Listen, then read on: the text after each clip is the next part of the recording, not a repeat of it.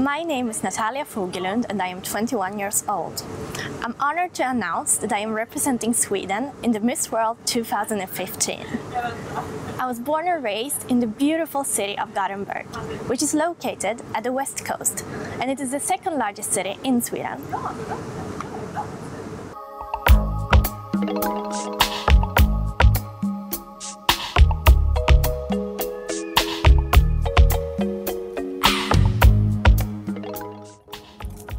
I'm currently studying my third year of law at the University of Gothenburg. I feel that I have been very blessed to get to do this, and I would like to use my title to ensure that every child has the right to an education. In the future, I would like to try myself in a lot of things. I dream of working as a defense attorney because I believe that everybody, no matter where they come from or who they are, should have a right to a fair trial. In my spare time, I like to work out and dance. I think doing whatever is fun and entertaining is the best way to stay healthy. For many years, I competed in different ballroom and Latin competitions.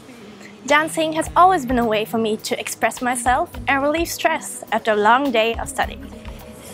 I strongly believe that everyone should find something they're passionate about. I am an advocate for humane treatment of all animals. I have two cats and I consider them family.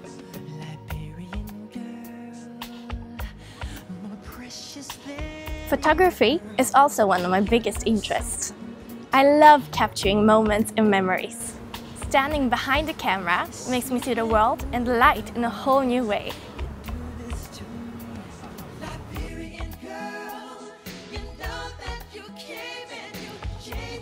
I am so proud to represent my country at the Miss World in China. For me, being Miss World is not only about yourself, it's about what you can do for others. I can't wait to meet all of the other beautiful candidates from all over the globe.